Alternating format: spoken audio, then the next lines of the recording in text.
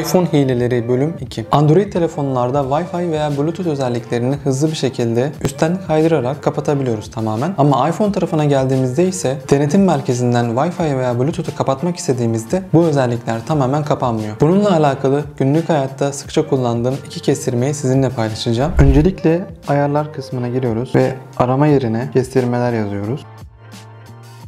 Kestirmeleri tıkladığımızda buradaki güvenilir olmayan kestirmelere izin ver seçeneğini aktif ediyoruz. Daha sonra parolamızı giriyoruz.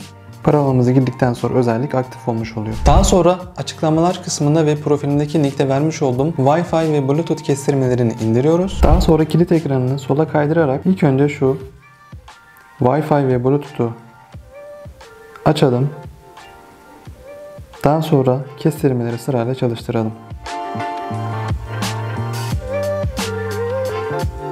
Görmüş olduğunuz gibi Wi-Fi ve Bluetooth özellikleri tamamen kapanmış oldu. Böyle videoların daha çok gelmesini istiyorsanız hesabımı takip etmeyi unutmayın.